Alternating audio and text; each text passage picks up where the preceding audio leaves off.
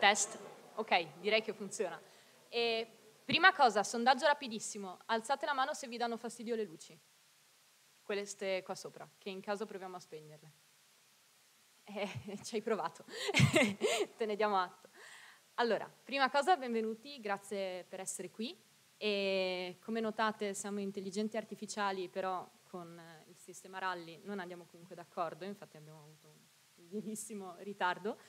E, um, questo è il micro corso di, mini corso di Python per il machine learning. Eh, perché cosa vogliamo fare? Eh, sono due giornate, un'ora e mezza, due, diciamo molto lasche, non sarà una lezione di quelle pesanti, anzi sentitevi liberi di intervenire, fare domande. Eh, il corso, come notate, è in italiano.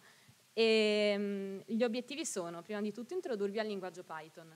C'è chi conosco dei volti in aula e che comunque sono abbastanza rodati ormai nel linguaggio Python, ma magari c'è chi non l'ha mai visto. Nessun problema, non avrete, non avrete spero, grossi intoppi. In caso, ripeto, chiedete pure prima, dopo, durante. E mostrarvi una forma di pre-processing dei dati, perché comunque è importante, e applicare tecniche di machine learning non supervisionato, e qua lascio la parola a Alex Rodriguez che presento a breve, che è decisamente capace, e fornire questi strumenti in generale a persone che non appartengono solo al percorso di intelligenza artificiale e data science. Per questo scusate, so che a ruoli invertiti io la odio quando la fanno questa cosa, infatti mi dispiace doverla fare, però è solo per curiosità mia e perché da data scientist noi e i dati siamo un'unica cosa. Posso chiedervi di alzare la mano se fate una triennale? Ok. E una magistrale? Da dottorato in su invece? Oh, grazie comunque per essere qui. E quindi l'idea è di ridurre notevolmente il divario tra la teoria e la pratica. Cerchiamo di scendere abbastanza presto nel pratico, darvi alcuni elementi di teoria senza annoiarvi. Il professor Alejandro Rodriguez Garcia, da noi noto come Alex, è un professore presso un ITS, insegna un corso chiamato Unsupervised Learning, che è apprendimento non supervisionato, e possiamo dire che è un appassionato comunque, nel senso che il suo percorso da chimico computazionale l'ha portato a specializzarsi comunque in tecniche di apprendimento non supervisionato. E, um, indovinate cosa fa di ricerca? Unsupervised learning. E, ma non solo, eh, ha pubblicato anche diversi paper su quella che si chiama eh, density estimation e manifold learning, che magari se vi piace una prossima volta volentieri facciamo. Come facciamo? Perché vi dico che non serve sapere per forza tantissimo Python? Perché useremo uno strumento chiamato Google Colab, in cui vi, vi basta il link che vi è stato inviato via mail, trovate comunque il file del, del laboratorio sul Google Drive che trovate quando vi siete iscritti. Se non vi siete iscritti nessun problema, vi diamo un QR da inquadrare e vi si aprirà il link e, e semplicemente potete eseguire le celle man mano quindi nessun problema, riuscirete, spero, a stare al passo con tutto, non serve saperne più di chiunque altro. Perché stiamo facendo questa cosa? Siamo un gruppo di studenti che ha come radice diciamo, la triennale, la magistrale e il dottorato in data science, ma non solo. Abbiamo dentro anche inserti da altre lauree, non necessariamente solo STEM, e l'intento è di democraticizzare sia le informazioni riguardo l'intelligenza artificiale sia le metodologie, dalle AI talk fino ad eventi comunque di stampo sociale e culturale che cercano di fare ponte tra triennale, magistrale, dottorato e anche docenti. E cerchiamo sempre gente che voglia cercare di rendere accessibile qualcosa che forse per molti accessibile non è e sembrano parole magiche. Quindi se volete unirvi, se volete supportarci, c'è sempre spazio, questi sono solo alcuni. E, e niente, Buona, buon laboratorio, spero che sia nelle vostre corde, spero che vi piaccia, vi chiederemo un feedback mm, dopo la giornata di domani. Ciao, eh, bueno, grazie Sara, eh, grazie all'associazione i2S per, perché è bello avere un po' di attività che va oltre i corsi, quindi proviamo a fare, qua siamo rilassati, non siamo in corso, quindi domande senza problemi Mm, I'm sorry for the people that speak only English, but we have to do it in Italian. E comunque se capite italiano, anche se non lo parlate, se volete fare le domande in inglese, per me è indifferente, ok? E, boh, anzitutto provo a caricare il link de, okay, proviamo a caricare qua vedete il QR del collab e questo collab l'ho preparato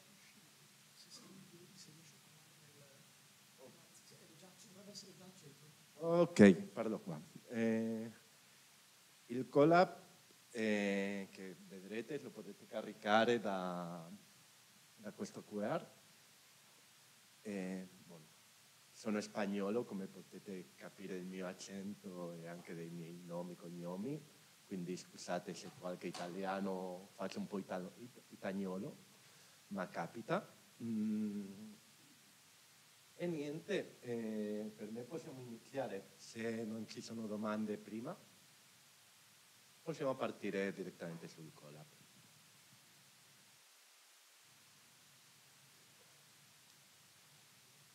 Allora, nel frattempo la prima cosa che faremo...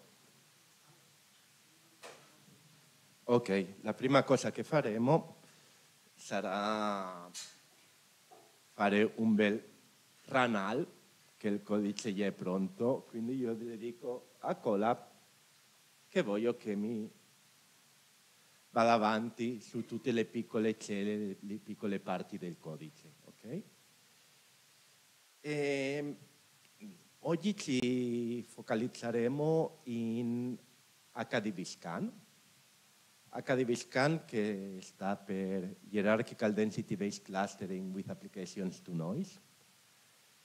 E per quelli che sapete un po' di più, ad esempio quelli che avete seguito il mio corso di unsupervised o che avete fatto un po' di unsupervised in qualche momento, è un'estensione di un metodo noto nell'ambiente che si chiama DB-scan, cioè senza hierarchical.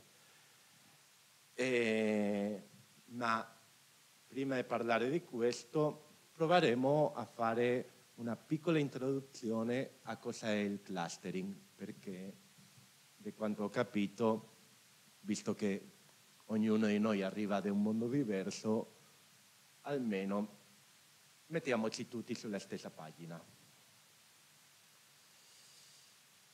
Qual è il problema che vogliamo risolvere? Eh, noi abbiamo, noi persone che lavoriamo con dati, abbiamo dei dataset, cioè insieme di dati. Questi insieme di dati sono le caratteristiche, ogni punto, ogni dato, per noi è un punto, un punto in un spazio qualunque, ma, boh, ad esempio, se io voglio farmi un dataset delle persone in, questo, in quest'aula, ognuno di voi sarebbe una riga, no? E le caratteristiche potrebbero essere occhiali sì, occhiali no, che questo sarebbe una binaria, potrebbe essere colore dei capelli, che sarebbe una discreta, potrebbe essere età, che sarebbe un numero, questo sarebbero i miei dati. E una grande distinzione che abbiamo in questi dati è se sono labeled o no, cioè se hanno etichette o no. Questo vuol dire che ad esempio se io voglio usare i dati per imparare qualcosa, posso impararli in due modi. Uno si chiama supervisionato. Supervisionato vuol dire che io ho etichette e provo a imparare queste etichette. Immaginiamo che sempre con lo stesso dataset io voglio capire di che corso di laurea avete seguito o seguito. Questo sarebbe una colonna addizionale nel mio dataset che sarebbe la label, il, quello che voglio imparare. E non so, magari fra i chimici, fra i chimici una, una feature importante per imparare quello è se hai bruciato le mani, potrebbe essere. Ma questo è quello che noi non faremo oggi. Noi oggi quello che proveremo a imparare è della struttura dei nostri dati se ci sono gruppi naturali. Okay? Per tutti, per quelli che avete fatto data science lo sapete benissimo, tanti che non avete fatto data science lo saprete comunque, ma voglio ribadire, per noi i dati sono punti in un spazio. Punti in un spazio vuol dire che se il mio spazio è bidimensionale sono punti su una lavagna, ma se è altamente dimensionale sono punti su qualunque spazio. Okay? E cosa vuol dire una struttura che, si, che ci siano gruppi naturali? Io qua nel notebook vi ho messo un disegno dei punti in un spazio bidimensionale. E tanti di voi, immagino, concorderete con me che qua almeno ci sono due gruppi di punti, vero? Questo è quello che andiamo a cercare quando facciamo clustering. Clustering vuol dire gruppi. Okay? Noi andiamo a trovare la possibilità che ci siano strutture che ci permettano di imparare qualcosa dei nostri dati, anche se non sapevamo a priori nulla. Okay? Un'altra cosa che vogliamo imparare è se ci sono gerarchie. E di là viene il Hierarchical Density Base. Cosa vogliono dire gerarchie? La questione è che i nostri gruppi sono hanno certe relazioni fra di loro. Okay? Queste relazioni le posso visualizzare in forma di un albero.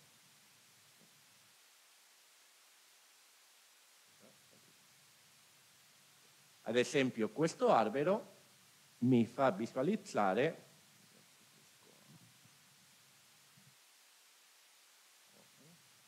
mi fa visualizzare le relazioni fra i gruppi che ho trovato in questo insieme di punti.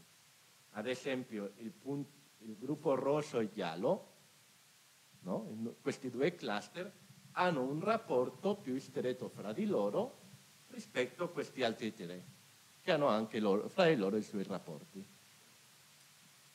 Quando troviamo una cosa del genere, non so, pensate l'esempio di biologia, di zoologia. In zoologia i gruppi le spezie, no? i gruppi di individui, sono diverse spezie, sono correlate fra di, loro, fra di loro per formare un genere. I generi sono correlati fra di loro per formare famiglie. Tutto questo è un tipo di gerarchia. Okay? E questo è anche informazione che noi possiamo ricavare senza avere bisogno di avere dei label. Sì? E adesso mi direte, ok, bello, interessante, ma per cosa usiamo questo? Io qua vi ho, pues, io, vi ho messo un piccolo schemino di per cosa si può usare il clustering. La prima cosa che possiamo fare è identificare strutture nei nostri dati. No? Che strutture usiamo?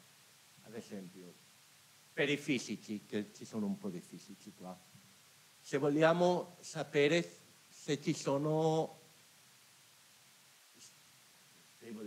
eh, stati sta, stabili nella nostra simulazione, cioè configurazioni del nostro sistema che sono visitate tante volte.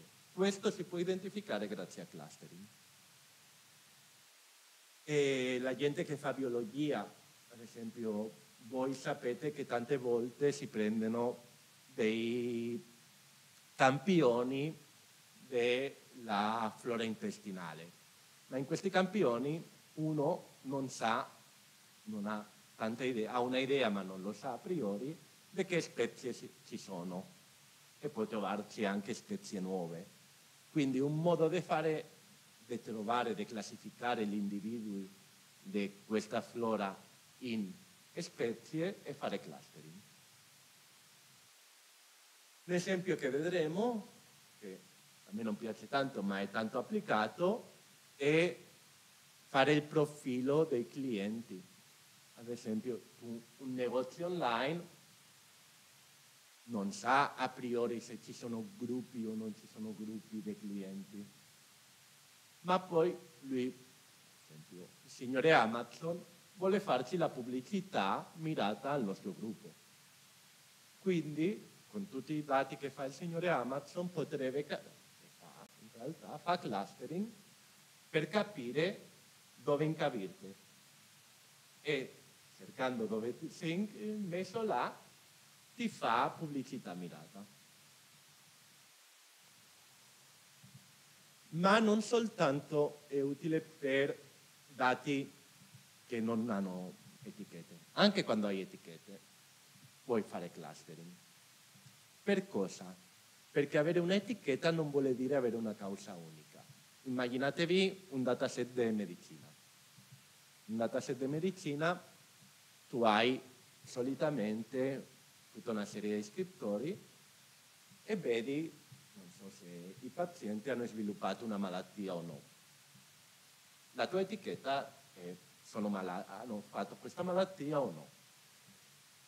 Ma il fatto che abbiano fatto questa malattia non vuole dire che tutti quanti abbiano la stessa causa, perché possono esserci diverse varianti genetiche che ti portano alla stessa causa. L'unico modo di identificare questo è identificando prima i gruppi naturali dentro dei tuoi pazienti e vedere se ci sono gruppi in concreto che sviluppano questa causa, questa malattia, scusate. Un'altra cosa dove è molto utile è per interpretare metodi di machine learning. Questo per i nostri, per quelli di AIDA eh, o delle magistrali.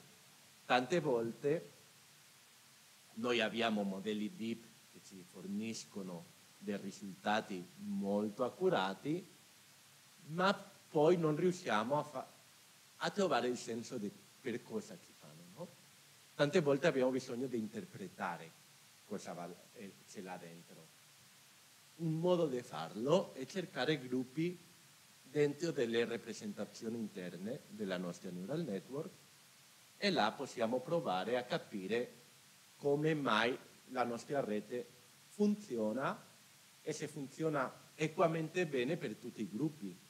Perché se hai un gruppo rappresentato poco, magari la tua rete neurale, tu nella global accuracy non, non ti rendi conto, ma quando vai a mirare gruppo per gruppo, vedi che la tua rete neurale in quel gruppo non funziona bene.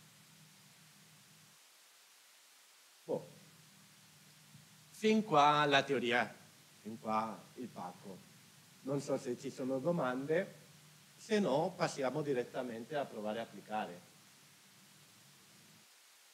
Nessuna domanda? Poi, andiamo avanti. Una cosa che noi dobbiamo fare nei nostri computer è installare le librerie che useremo. Librerie no. Ok, adesso faccio io una domanda, che spero mi rispondete. Tutti sapete cos'è una libreria? Sì? No? Qualcuno? Se c'è qualcuno che non lo sa, lo dica e lo spiego in tre parole. Ok. Una libreria, una library, è un insieme di programmi che qualcuno ha fatto prima e li ha messo in modo che tu dentro il tuo programma li puoi chiamare senza, tipo black box, senza sapere cosa c'è là dentro. Semplicemente tu lo chiami con un input determinato e ti fornisce un output. Ok?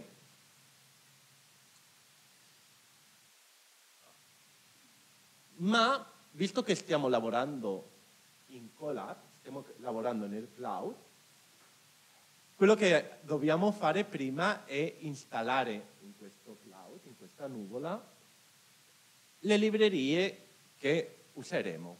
In questo fondamentalmente ci sono tante librerie già installate in Google Colab, ma ci sono qualcuna che no. E quelle specifiche che useremo qua sono HDVScan, guarda tu, e poi anche un'altra libreria che si chiama UMAP. Poi vi spiegherò cosa fa. Okay? Per installare queste librerie io chiamo il comando pip, install, e poi il nome della libreria. Visto che sono in Colab, devo mettere questo esclamazione, questo punto esclamativo, questo punto esclamativo davanti. Ok? Perché quello mi permette di dirgli a Colab che quello non è un comando Python, quello è un comando del sistema. Okay? E lui mi fa questo lavoro di installare queste librerie. Okay? Una volta ho fatto quello, io gli devo dire al mio programma che librerie userò. Okay? Quello si chiama importare queste librerie, perché se no il programma dovrebbe avere in memoria tutte le librerie in Python e non c'è computer che se la faccia. Okay? Quindi dobbiamo selezionare quelle, quelle, che andiamo a usare. Ok, scusate, io mi allontano il, del micro. E fra le librerie più note, una è NumPy.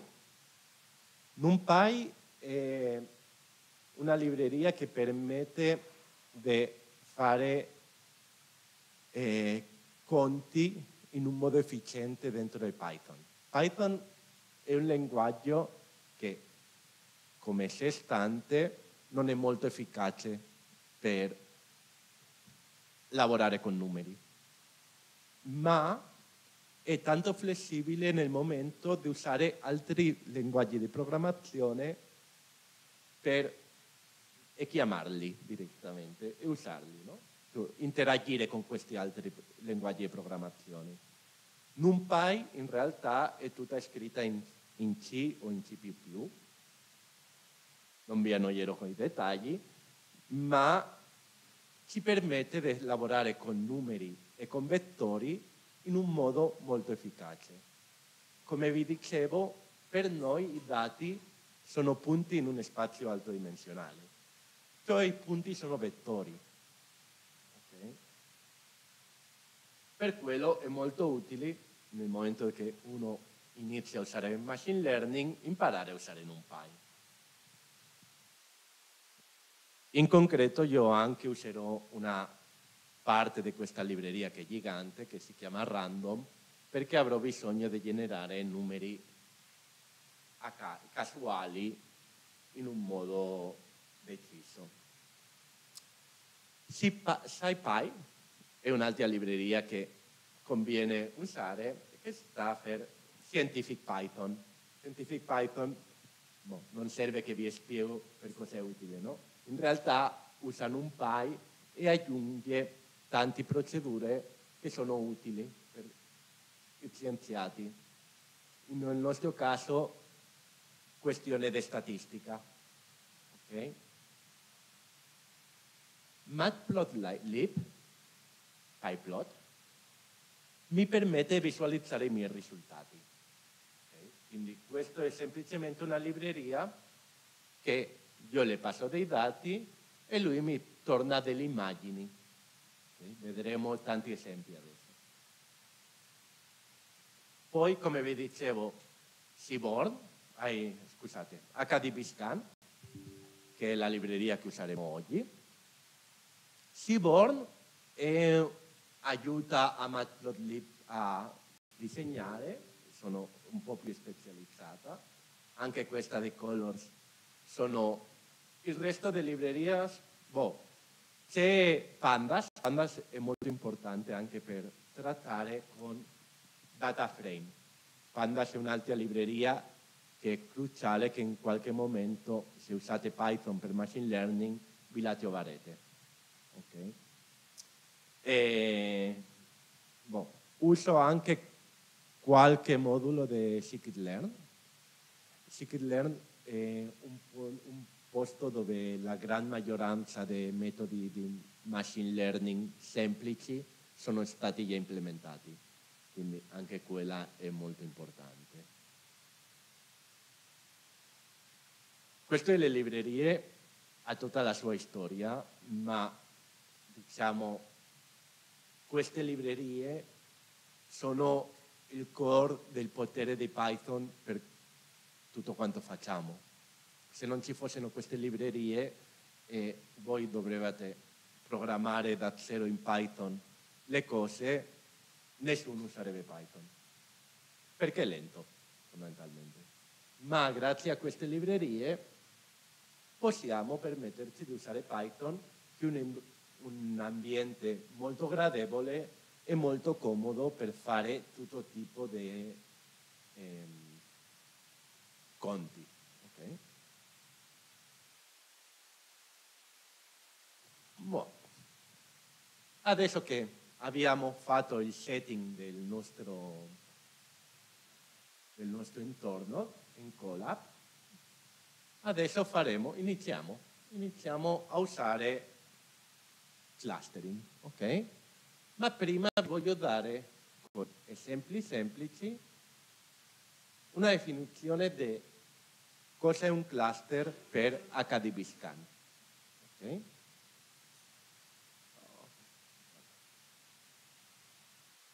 La prima cosa che faremo è generare dati, generarci dati in, nel machine learning ci permette di capire perfettamente la struttura vera dei nostri dati e quindi capire se il nostro metodo funziona bene o non funziona bene per quello che vogliamo fare. Okay?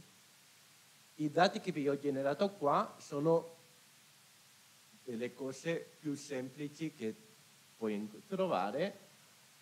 Il primo è un, un tipo di dati che è unidimensionale è unidimensionale perché ci permette di visualizzare un po' di cose.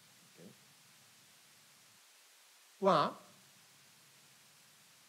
eh, questo non è scritto molto, diciamo, gradevole di leggere, ma quello che faccio è generare punti che io vado a campionare di una Gaussian mixture. Una Gaussian mixture è diciamo, una somma di funzioni di distribuzione di probabilità gaussiane. Quello sappiamo tutti cosa è? Sì? Una, funzione di, una funzione di distribuzione di probabilità vuol dire le probabilità con le che genero i miei numeri. In questo caso io ho quattro gaussiane e le mescolo e prendo in modo, eh, in modo casuale di ognuna di queste quattro vado a campionare i miei 10.000 punti. Okay?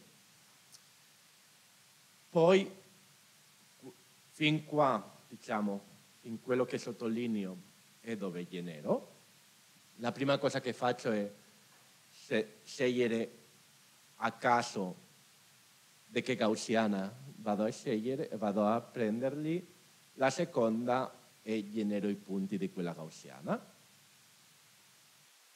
E una volta li ho generati, quello che faccio è fare il plot, cioè visualizzare la funzione di distribuzione di probabilità e visualizzare anche le probabilità vera. In questo caso la mia funzione di distribuzione di probabilità che sono andato a campionare è quella nera e l'istogramma sotto è la distribuzione vera che, che, dei miei punti. Sì? Chiaro? Se c'è qualcosa che non è chiaro interrompetemi, eh? per piacere. Una volta ho i miei punti, anche se sono in una dimensione, quello che faccio è provare a trovare i miei cluster, okay? i miei gruppi. Per voi, guardando questa distribuzione di probabilità. Quanti gruppi dovrei trovare? Quattro, no? perché ci sono quattro massimi nella mia descrizione di probabilità. Quando, qua quello che dico è, ok, il mio metodo di clustering è HDB-scan, che lo chiamo con una serie di parametri che vedremo domani perché se no non abbiamo tempo. E poi le dico applica questo metodo ai miei punti che in questo caso si chiamano y. Questo y gli ho fatto una cosa che si chiama un reshape.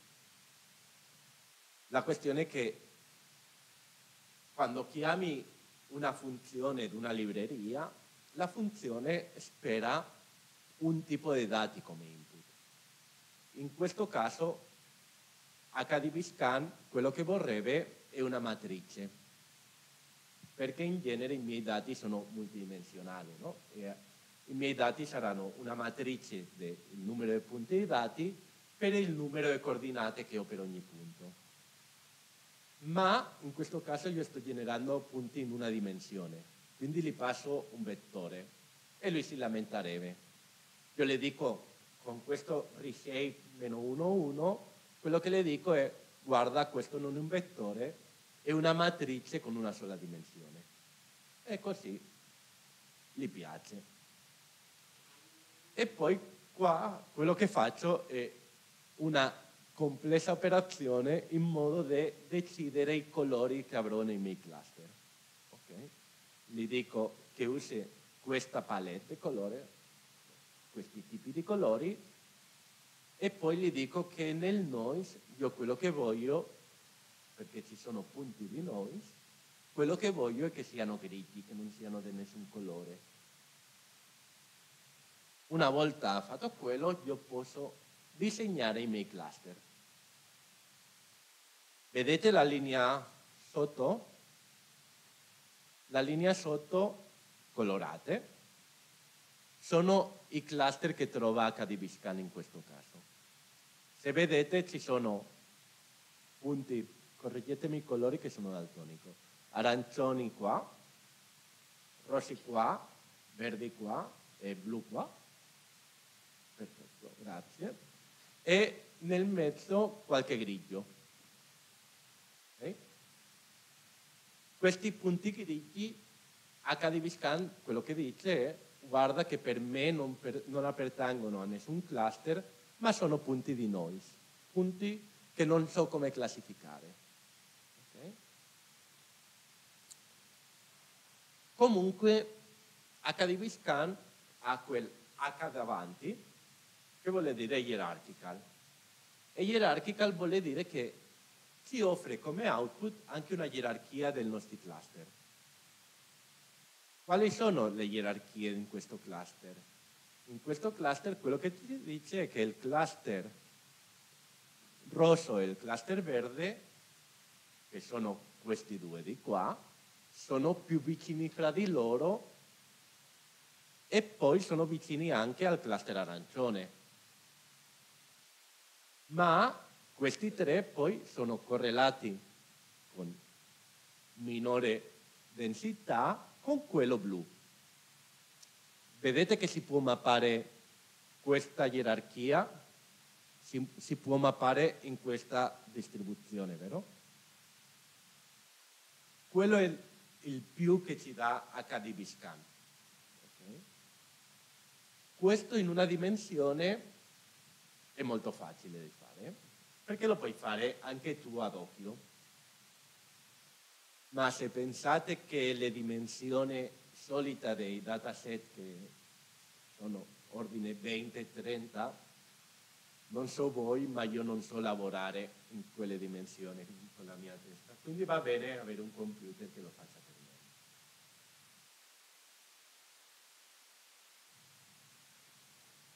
Adesso, dimmi. Mm-hmm. Ok, una gerarchia vuol dire che in tuoi gruppi, in realtà, tu hai trovato dei gruppi, ma i gruppi hanno relazioni fra di loro di somiglianza. E allora, mettiamo un esempio. Quello che parlavamo prima delle specie biologiche, no?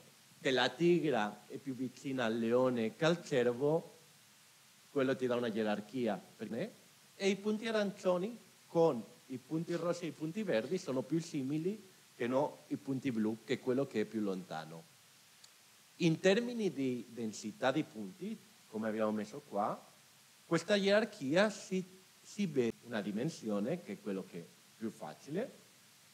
Proviamo a fare una cosa simile, ma in due dimensioni. Okay? In questo caso, per generarmi il mio dataset, ho usato direttamente una funzione di scikit-learn che ti genera dei, delle, dei campionamenti di gaussiane in due dimensioni. Okay? Io gli ho fatto fare eh, 5 gaussiane in modo casuale, quindi in realtà volutamente non ho definito l'estato random, quindi ognuno di noi avrà nel momento che le esegue la sua mixture di 5 cluster. Qua, mi permette di capire in un modo abbastanza efficace le popolazioni e le label che ho. Okay? Quando ho fatto quello, io, quello che vedo è che ho assegnazioni date come meno 1, che in HDB e noise, e poi 4, 5, 4 cluster in questo caso.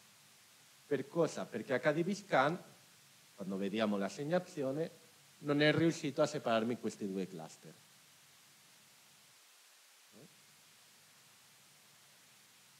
E le popolazioni di ognuno di questi cluster le ottengo così. Sono qua. Vedete il mio puntatore, sono questo di qua. Okay. Quando le, le disegno vedo che in questo caso HDB Scan non è riuscito a separarmi queste due cluster. Okay? Queste cose, diciamo, in realtà se io, io qua vi ho segnato i colori a priori di quelle che erano, quelle che mi hanno eh, formato. Ma se in, invece di segnalarli con colori eh, vi li disegno adesso senza colori.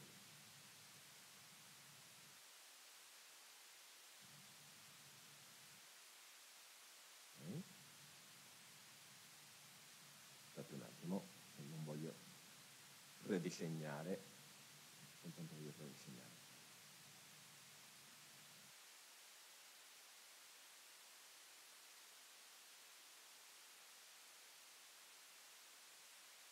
Ok, adesso quello che ho fatto è disegnarli in nero, senza colori.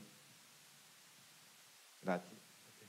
Quello che vedete è che in realtà anche per voi sarebbe stato difficile dire che in quella cosa a uovo ci sono due cluster, vero?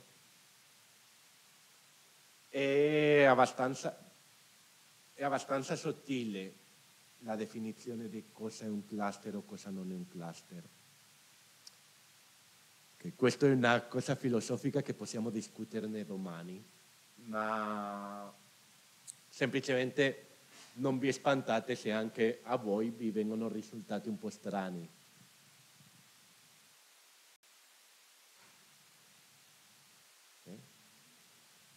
Quindi quello che ha fatto HDB Scan in questo caso ha trovato quattro cluster e praticamente non ha trovato una gerarchia, perché i quattro cluster sono circa equamente separati. Okay. Domani una cosa che andremo sarà controllare la teoria dietro a Scan. Okay? Eh, ma oggi ce la saltiamo per riuscire a fare un caso, almeno un caso vero. Okay? Ehm, non so se è contemplato fare una pausetta. Voi cosa dite? Andiamo avanti e finiamo prima o facciamo una pausetta? Andiamo avanti? Datemi un attimo che almeno bevo un po'.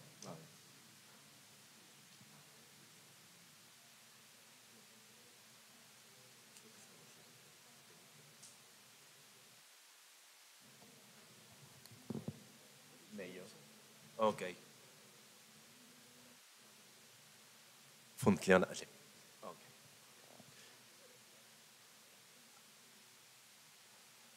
Allora, il primo caso che vi ho messo come esempio è uno che vi avevo commentato prima, che è un profilo dei clienti. Okay. Questo è un dataset che viene da Kaggle. Kaggle è un repository, una, una base di dati dove ci sono tanti dataset che fanno anche cose molto divertenti, tipo le challenge, dove diverse persone possono provare diversi metodi per classificare meglio, o peggio, senza darti... e poi loro alla fine ti danno dei risultati e fanno una classifica. Si può giocare un po' con questo Kaggle. Io sono andato in realtà a cercare un dataset abbastanza noto che si chiama Marketing Campaign. E qua quello che, fa, che, ho fatto è metterlo sul mio GitHub per non avere problemi di dover scaricarmelo di Kaggle ogni volta e importarlo qua a, su Colab. Ok? E.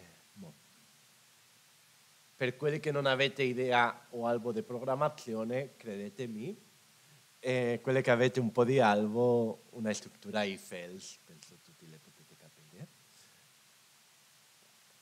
e poi lo leggo come una CSV, cioè CSV è un formato di testo di base dati e lo leggo usando la library pandas. Okay? Quindi uso una funzione di pandas che mi permette di dire ok, questo era un file scritto in testo, lo importo direttamente. e quando faccio questo head quello che ottengo scusate, è una descrizione di come è fatto il mio dataset. Non so se vedete, ci sono 29 colonne. 29 colonne sono un bel po' di feature. Okay?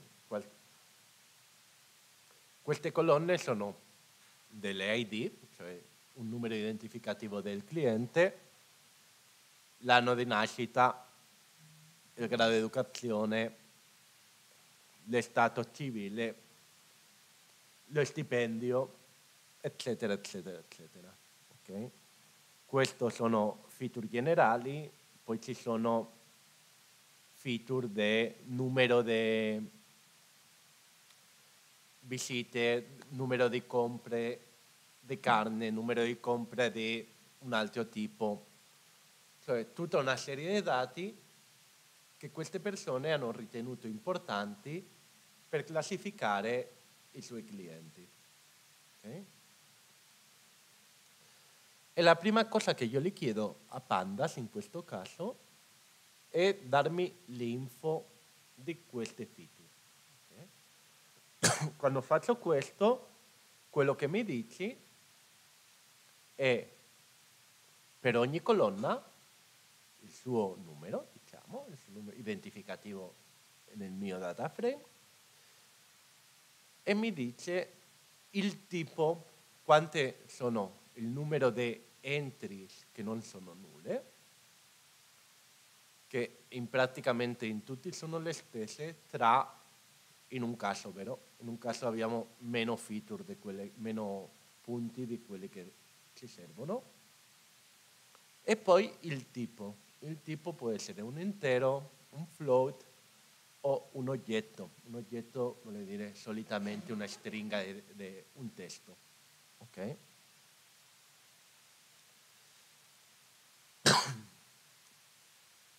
La prima cosa che faccio nel mio... Adesso che, cosa farò? Adesso proverò a preparare i miei dati, questi dati che vedete che ognuno in spagnolo dicevamo è del suo papà o di sua mamma, nel senso ognuno è diverso. No? Ogni, io ho una colonna che è il marital status che non c'entra niente con il numero di volte che compra in non so cosa, perché sono tipi diversi. Ma come vi dicevo, per fare clustering io ne ho bisogno di punti in un spazio. Questo è un spazio troppo eterogeneo e non so fare clustering qua. Adesso mi preparerò i miei dati in modo che io riesca a fare clustering qua. La prima cosa che faccio è dire, ok, a me il numero di ID interno che tenga dentro il dataset ogni cliente mi importa relativamente poco perché quello non c'entra con la classificazione che io voglio usare e quindi gli faccio un drop, cioè cancello questa colonna fondamentalmente. Poi cancello altre tre colonne. E queste tre colonne, le persone che hanno fatto questa analisi hanno ritenuto, sono, le hanno ritenute come poco importanti per la classifica che io volevo fare. In questo caso serve l'expertise. Se io volevo fare la classificazione nel, in questa classe d'accordo con i voti che trovate, magari la feature colore dei capelli la cancello, no? La idea è quella. Tu quando fai qualunque machine learning, se sai a priori che hai delle caratteristiche inutili, non le metti perché l'unica cosa che fanno è aggiungere il rumore. Qua quello che faccio è dire se le mie feature sono numeriche o categoriche, cioè se io ho un numero associato a quella colonna o invece c'è un, un valore, un, una stringa, una, una, quello che vogliamo.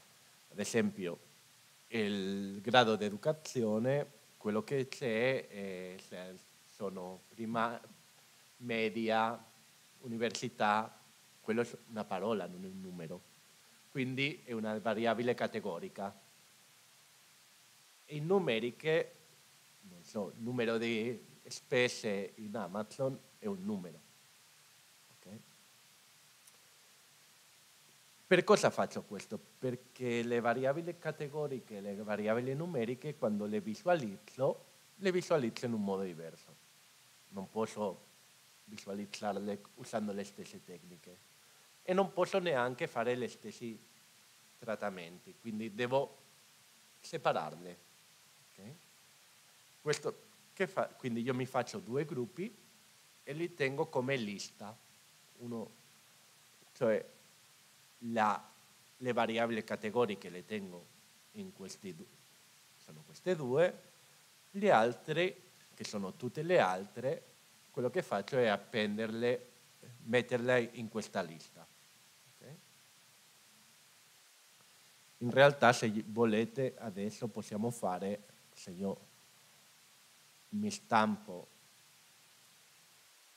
numericals, vedrete che quello che mi stampa è una lista con tutta una serie di valori che sono numerici. Okay. E adesso quello che vado a vedere sono gli istogrammi variabile per variabili. Okay. Questo, come sapete, come vi abbiamo detto, nel clustering io faccio un'analisi dei punti in alta dimensionalità, ma a priori io posso andare a guardare, diciamo, colonna per colonna, come è fatto il mio dataset. Okay? Per cosa è utile? Questo è utile ad esempio per individuare outliers. Outliers sono punti che nel mio dataset no, sono troppo, troppo strani per fare qualunque modello. Quindi solitamente gli outliers vanno tolti dai modelli. Okay? Perché? Perché non, idealmente non vorrei toglierli perché non mi piace togliere punti, ma visto che sono pochi, mio, quello che rischi è che ti svalutano un po' il modello. Quindi tante volte vanno tolti e poi vanno trattati in modo diverso. Quindi se io adesso mi stampo le diverse listogrammi delle diverse feature, posso iniziare a vedere un po' di, po di ciccia, no? Ad esempio l'anno di nascita.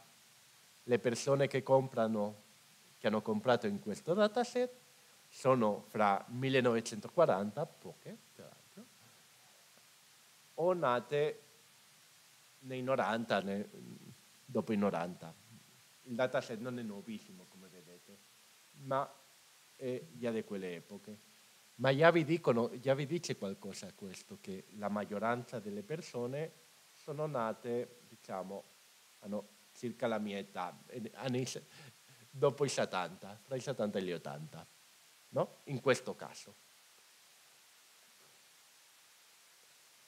Qua vediamo invece quello che vi dicevo, un outlier. Questa feature, questa, quello che stiamo guardando qua dopo il year of birth è l'income, lo stipendio. Okay? E mentre la gran maggioranza delle persone sono fra niente e 100.000 dollari, c'è qualcuno che va oltre i 600.000. Quello c'è, come vedete, c'è uno. Questo, credetemi, meglio lo togliamo perché quello che compra questo per il mio profilo dei clienti non mi conta, non, preferisco non tenerlo. Okay? Anche se magari ha fatto lui la, tutta la spesa. Ma... Poi quanti bambini sono a casa? quanti bambini hanno a casa. In questo caso parliamo da 0 a 2, un un po', un po' strano, ma ci sono questi. Okay? Adesso non mi metterò a fare l'analisi di tutti, ma vedete che una persona che ci lavora su queste cose andrebbe colonna per colonna guardando queste caratteristiche e andrebbe farebbe questo anche per capire se ci sono cose strane, perché può essere che nei, nei dataset ci siano errori. Immaginatevi che trovate un, un, un punto con un stipendio negativo. Là c'è un errore, chiaramente devi andare a controllare cosa è successo. O come è successo poco fa a una compagna a una compagna di A2S. Avevano messo i punti non, non noti no, come punti negativi. Quando guardi il, histogramma vedi un cumulo di meno uno che non ha nessun senso e ti chiedi cosa succede là. Eh?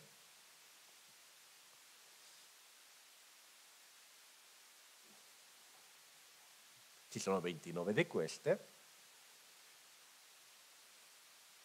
Quindi andiamo avanti. Ad esempio, le, le, la ultima è un po' interessante, ah, le due ultime, perché parlano del livello educazione, della, graduati, PhD, master, basic, secondo ciclo, e il marital, marital status.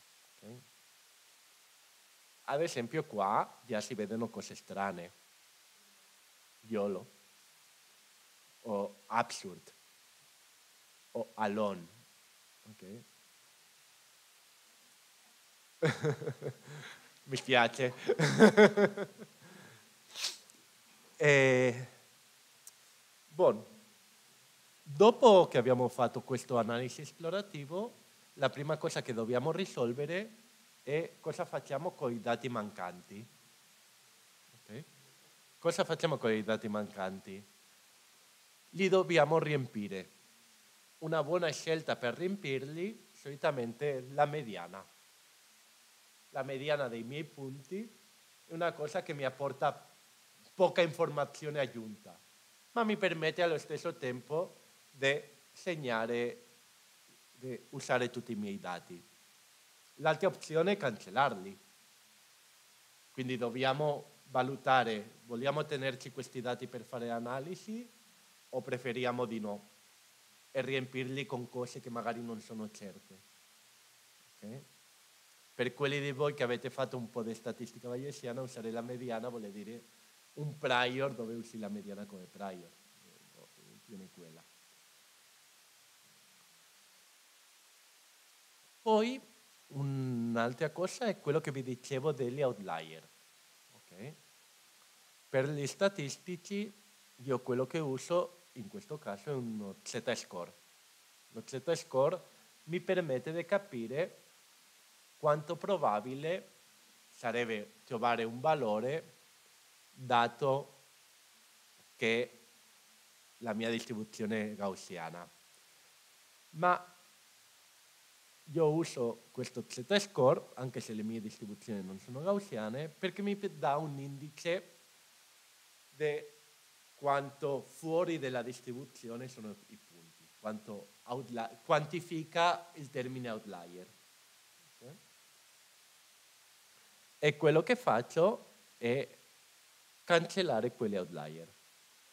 Cancellando quegli outlier, quello che faccio è dire che il valore assoluto dello z-score sia più grande di 4. Quello vuol dire tanto outlier, diciamo in termini di... Se fossero gaussiane sarebbero oltre... La probabilità è 1 fra 10.000, una roba del genere. Boh, non ricordo. Comunque vuol dire che sono parecchi outlier. Quindi li, li cancello. Okay? E adesso mi faccio l'iplotto di nuovo e li ploto di nuovo e vedrete che c'è una differenza, in qualche caso praticamente non si apprezza la differenza fra prima di togliere gli outlier o dopo toglierli, in altri casi c'è una differenza importante. Vediamo se riusciamo a beccare qualcuno.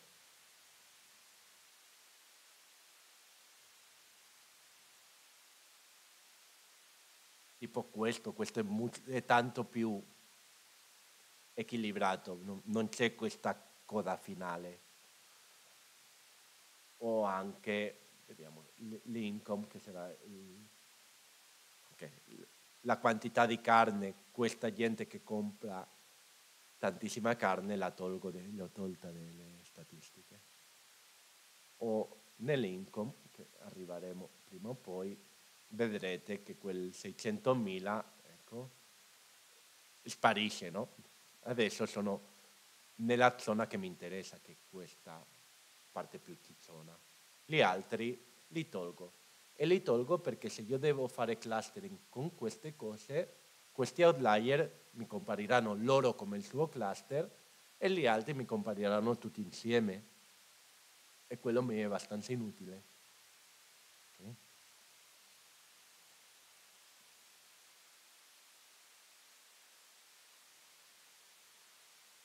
Eh, io non so se volete che vada sui dettagli di come faccio questi grafici o preferite vi lo guardate con calma quando... perché dif- comunque è difficile che adesso vi, vi spiego tutto il Python, tutte le librerie che sto usando.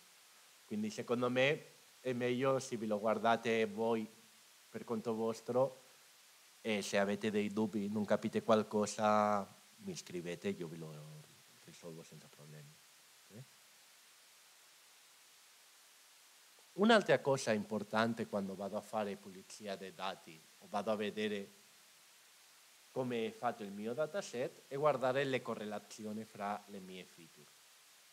Okay? Le correlazioni fra le mie colonne. Perché? Perché se ho colonne molto molto correlate, magari è meglio togliere qualcuna di queste tanto correlate, perché se no mi sbilanciano.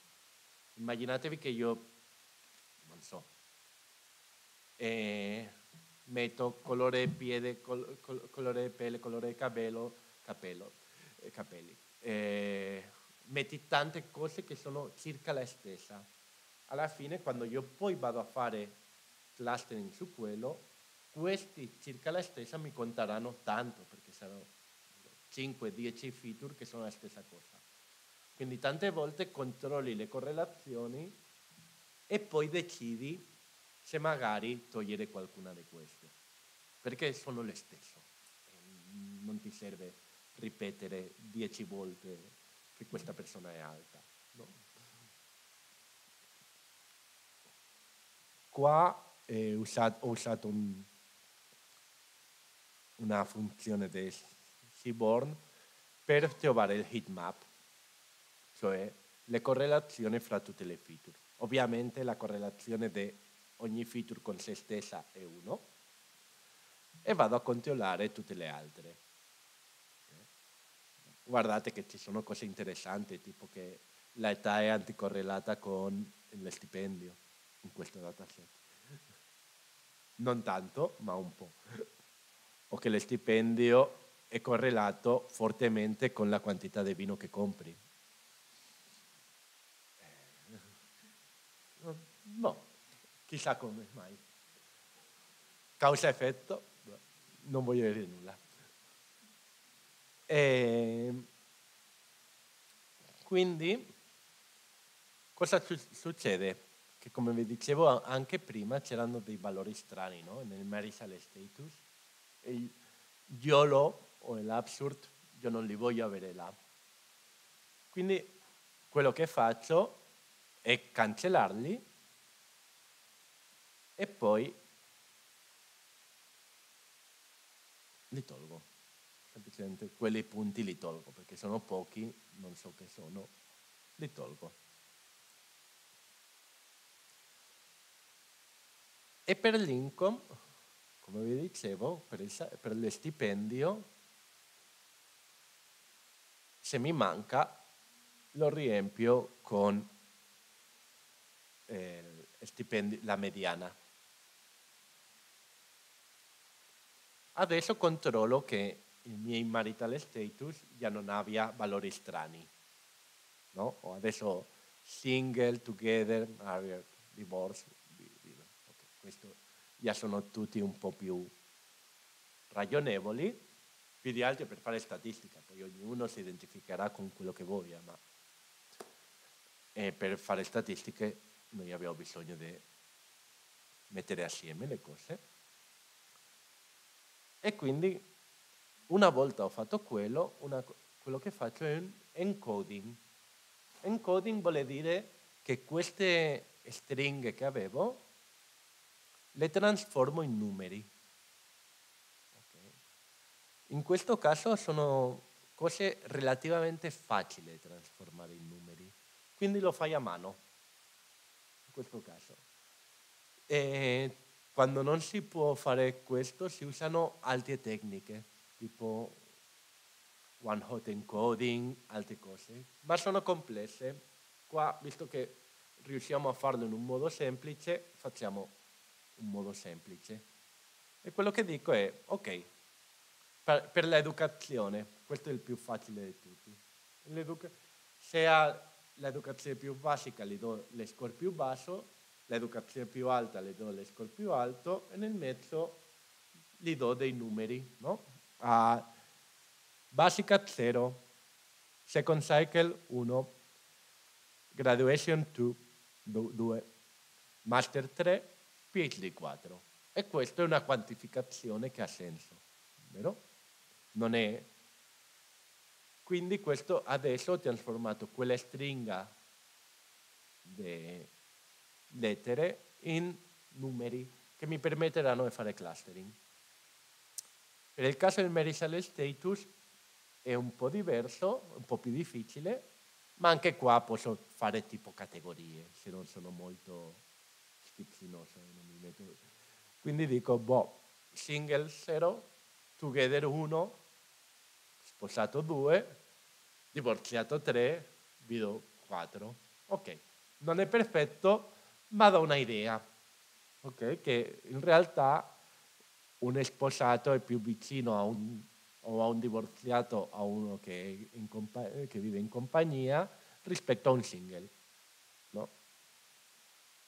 Quindi circa si potrebbe accettare, è migliorabile, ma vabbè, almeno una volta ho fatto quello, io adesso mi faccio ristampare le informazioni del mio dataset. Vedete che ho meno punti perché ho tolto gli outlier, ma adesso ho tutti quanti che sono numeri. Okay? Una volta ho tutti i dati in numeri, qual è il, il problema? Il problema è che ognuno di questi numeri ha un senso diverso, ha un significato diverso. Cosa vuole dire? Che se io ad esempio immaginatevi che ci fosse l'altezza del cliente. Se la metto in centimetri o la metto in metri mi darebbe numeri molto diversi. Okay? Quindi una cosa che devo fare è scalare questi numeri, scalare in modo che tutti quanti abbiano un range simile. Per fare questo ci sono diversi metodi. Io ho usato uno che è abbastanza diffuso che si chiama Robust Scaler, okay? che è scikit-learn. Qua quello che le dico è che il, il, mio, il mio range, quantile range, quello che le dico è che fra tutti quanti sapete cos'è un quantile, diciamo il primo, quart, il primo quartile, quartile, sarebbe il 25% inferiore, no? il terzo quartile, il quarto quartile sarebbe fra il 75 e il 100%. In quantili parliamo di più generico, generalizziamo questo concetto e io qua quello che le dico è che fra 0 e fra il 0% e il 95%, il valore che, ave, che al 0% ha un valore 0, il valore che al 95% ha un valore 0.95. Quindi tutte le mie feature, le mie, le mie colonne, le sottraggo la mediana e poi le moltiplico in modo da avere questo range. Okay? Questo, questi set di valori è settato proprio non è banale capire per cosa è quello giusto, ma se guardate gli istogrammi di ognuna delle colonne, vedete che in tanti sono distribuzione tanto skew verso lo zero. Quindi ti conviene fare in questo modo. Ma va bene, per quello non è qua che dobbiamo discutere di questo. Okay? La questione è che io modifico i miei dati in modo che abbiano tutti la stessa scala fondamentalmente quello. E adesso quello che faccio è un trucco di machine learning che si chiama riduzione della dimensionalità. Okay. Questa riduzione della dimensionalità viene fatta perché lavorare in alta dimensionalità è difficile per noi umani ma è anche difficile per, le, per i computer. Il problema è che è esponenzialmente difficile per il computer. Cioè, ogni volta che aggiungo una dimensione, implico per tot la difficoltà della, del, del compito. E se lavoriamo in dimensione 29, parliamo di un compito molto difficile il modo che abbiamo, ci sono tanti modi. Io de- eh, dedico la metà, circa la metà del mio corso al supervised learning a metodi di riduzione di dimensionalità, quindi non abbiamo tempo di spiegarli. Ma per voi quello che potete tenere in testa è che un metodo che prende come input i miei dati in alta dimensionalità e come output i miei dati trasformati il meglio possibile in modo che mantengano quasi tutta la sua informazione ma in una dimensionalità più bassa. Ok? Lo sintetizzo così perché se qualcuno è interessato vi passo le mie lezioni o parliamo un giorno. Ok? Ma facciamo così. E quello che ho fatto è ridurre da dimensionalità 29 a dimensionalità 3. Dimensionalità 3 ha un motivo molto semplice e che vi lo posso mostrare perché non, non possiamo vedere in dimensione più alta di 3. Vero? Quindi quando faccio quello poi uso un'altra libreria per visualizzare in 3D e riesco a vedere i miei punti. Questi sarebbero, questa è la mia distribuzione dei punti, questi sono i miei clienti in questo spazio. In teoria di deep learning sarebbe un latent space, anche se per quelli che sapete di cosa parlo.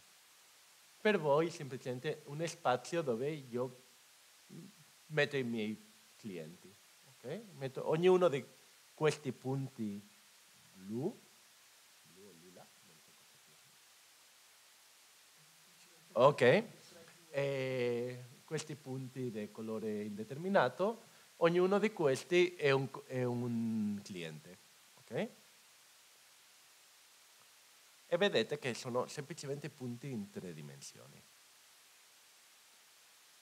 Adesso posso fare lo stesso giochino che ho fatto prima. Una volta ho i punti in tre dimensioni, posso provare a fare clustering. E il mio clustering mi dice che ho il cluster 3, il cluster 2, il cluster 0 e il cluster 1, cioè quattro cluster, e poi un po' di noise che sono i punti arancioni. Ok. Bene. E fin qua abbiamo fatto clustering di un dataset reale. Questo dataset somiglierebbe parecchio a un dataset reale e abbiamo fatto abbastanza lavoro. Cosa capita? Che cluster non è classificare. Clustering ti, dà dei gruppi, ma noi non sappiamo come sono fatti questi gruppi. Sappiamo solo tanto che ci sono dei gruppi naturali dentro il nostro dataset. Quindi ordine, per, per capire questi gruppi dobbiamo andare a guardare cosa hanno dei simili fra di loro. Okay.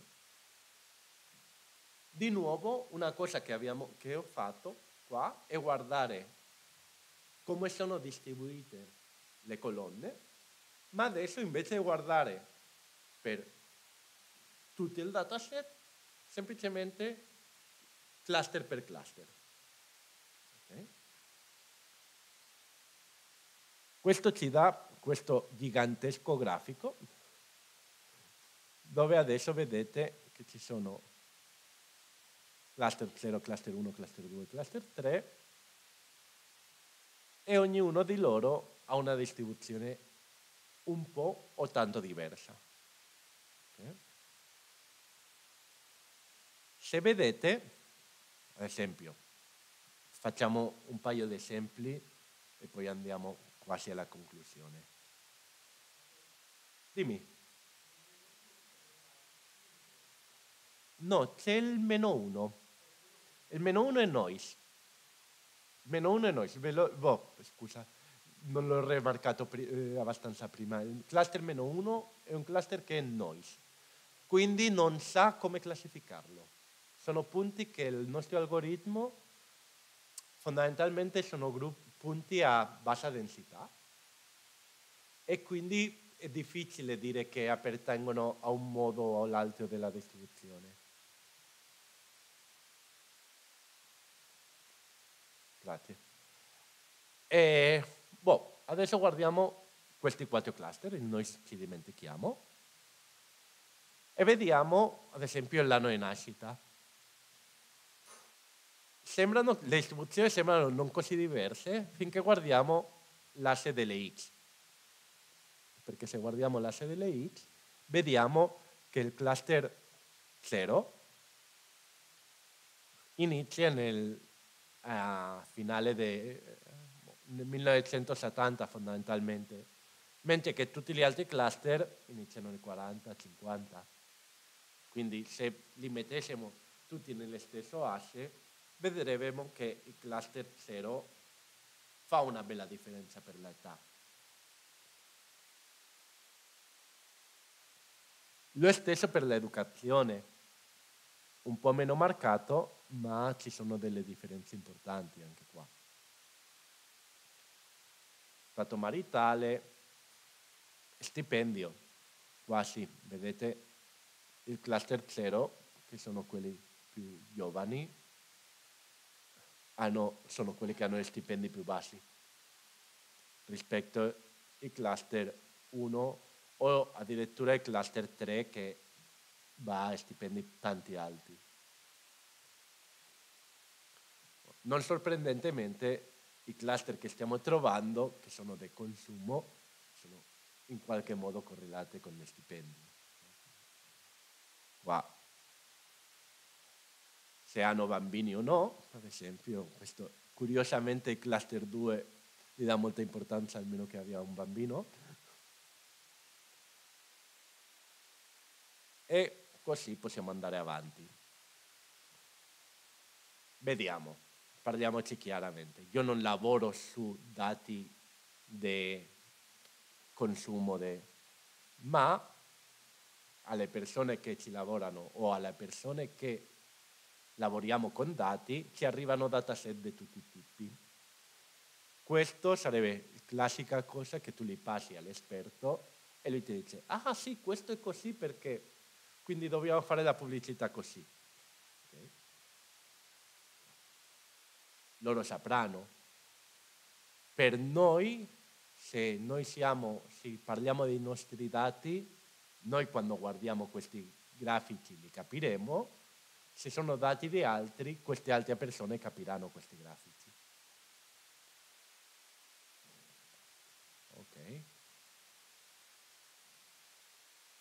E un po' di conclusioni che si possono tirare via è che sì, ci sono cluster con più soldi, ci sono cluster con simili fra di loro ma con piccole differenze e poi cose tipo che i gruppi con basso stipendio fanno tante visite alla web, magari perché stanno cercando le migliori offerte poteva avere un senso. No? Questi tipi di cose sono cose che noi abbiamo saputo soltanto della struttura dei nostri, dei nostri dati. Questo è importante, tu mi dirai, per cosa non usi tutti i label, sempre usi il supervisor? La questione è che quando noi aggiungiamo etichette, aggiungiamo anche i nostri bias. Questa è una cosa che è molto chiara in fisica in fisica eh, voglio lavoro su dati fisici maggioritariamente. Una cosa che troviamo è che a seconda le coordinate che un gruppo decida di usare per fare una descrizione, guarda tu casualmente ottengono la descrizione che coincide con quello che pensavano prima. Questo si chiama bias di conferma, di conferma no? e tutti siamo soggetti a questo. Il bello di usare metodi unsupervised è che noi qua mettiamo poca informazione nostra e quindi non mettiamo tanti bias. Okay. Oh, io penso che per oggi lo possiamo lasciare qua, che non voglio massacrarvi. E domani vedremo un po' di più di teoria di come funziona HDV Scan e vedremo un altro dataset. piccolissima nota tecnica, domani non siamo qua, siamo in 1A che è al primo piano e probabilmente faremo uscire un piccolo form già stasera per chi ha la mail e, e per chi ha ricevuto la mail con il materiale. Se volete compilatelo, sarà ovviamente anonimo, ci aiuta magari anche a ritararci un secondo per domani e se no potete anche compilarla alla fine del corso. Per feedback scriveteci tranquillamente alla pagina Instagram di A2S e ci vediamo domani. Anche a me se c'è qualcosa che non va, scrivetemi, non è un problema.